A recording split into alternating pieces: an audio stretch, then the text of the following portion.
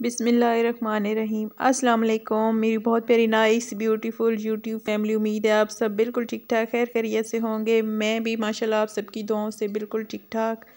आज आप सबके लिए एक नई रेसिपी लेकर आई हूँ। आज हम बनाने वाले जैसे कि सर्दियों का मौसम चल रहा है, सर्दी बहुत ज़्यादा है तो हमें बच्चों को ड्राई फ्रूट खिलाना चाहिए। ऐसे तो वो ड्राई फ्रूट नहीं खाते तो हम मुख्तलिफ़ टेक्निक से अपने बच्चों को ड्राई फ्रूट खिला रहे थे तो आज हम ड्राई फ्रूट की बर्फ़ी बनाने वाले हैं। आप पम्पकिन सीड से तो वाकिफ़ ही हैं ऐसा कि जिसको कद्दू के बीज कहा जाता है। तो आपने ये लेने हैं, आपने इनको कुक करना है। हल्की आँच पर। आपने बादाम ले लेने हैं। ये भी आपने कुक कर लेने हैं। मैं तो इनकी बहुत थोड़ी थोड़ी मकदार ले रही हूँ। आप अपने हिसाब से, बजट के हिसाब से जितना ड्राई फ्रूट ला सकते हैं, उतनी आप मकदार ले लें। हमने बादाम भी कुक कर लिए हैं। हमने अखरोट जो हैं, वो भी कुक करने हैं। इनको हल्का ब्राउन आपने कुक करना है, ज़्यादा नहीं करना। बिल्कुल हल्की आँच पे आपने ये सारे ड्राई फ्रूट कुक करने हैं।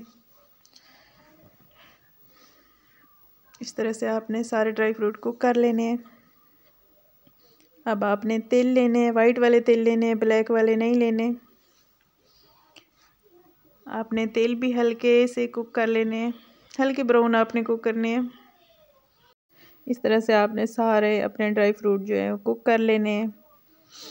इसके बाद आपने ड्राई फ्रूट की बारीक बारीक छुरी की मदद से कटिंग कर लेनी है। अगर आप पीसेंगे तो इनका जो एक टेक्सचर है, वो इतना अच्छा नहीं आएगा।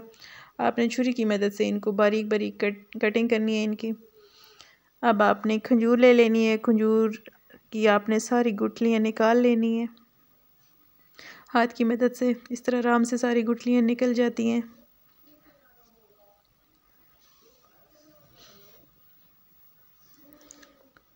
बड़े भी ये खा सकते हैं, बच्चे भी खा सकते हैं। बच्चों के लिए भी इसके बहुत सारे बेनिफिट्स हैं और बड़ों के लिए भी हैं। वैसे तो बच्चे ड्राई फ्रूट इतनी मुश्किल से खाते हैं। तो बच्चों को खिलाने के लिए डिफरेंट टेक्निक का इस्तेमाल करना पड़ता है। आपने खजूर की बारीक बारीक कटिंग कर लेनी है।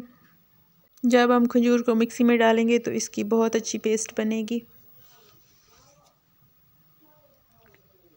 इस तरह से आपने सारी खजूर की कटिंग कर लेनी है।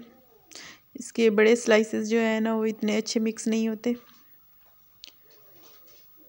अब हमने खुश्क खुबानी लेनी है। इसकी भी आपने उसी तरह, जैसे खजूर की हमने कटिंग की है, इसी तरह कटिंग कर लेनी है। इस सारे प्रोसेस के बाद हमने खजूर और खुबानी को मिक्सी में डालना है। इसकी अच्छी सी हमने पेस्ट बनानी है।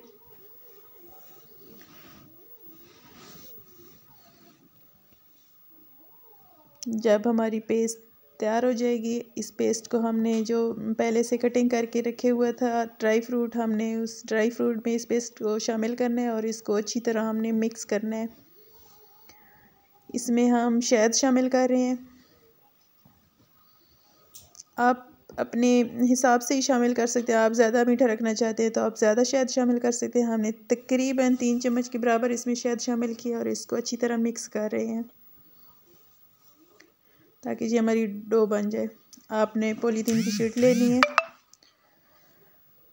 शीट के ऊपर आपने सारे तिल फैला देने और इस तरह हमने अपनी डो को हाथों की मदद से बेलना है तिलों के ऊपर, ताकि सारे तिल जो हैं इसके साथ चिपक जाए।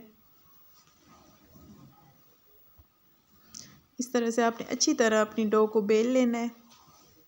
इसके ऊपर शीट जो है लपेट लेंगे। और शीट लपेटने के बाद हमने दोनों साइडों से शीट को बंद कर लेना है।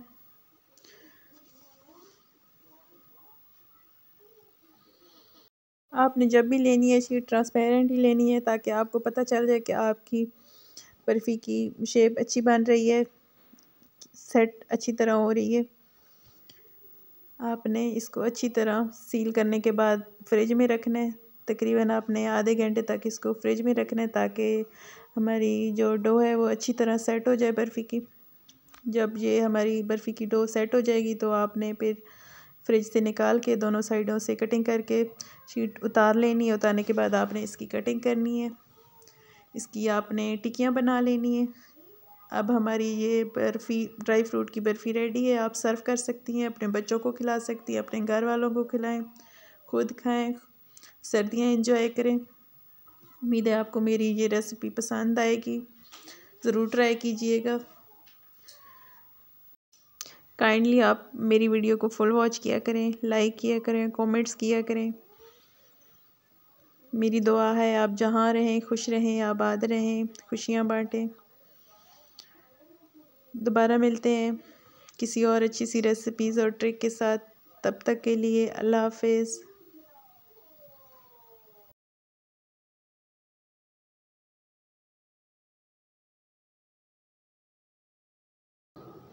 Thanks for watching.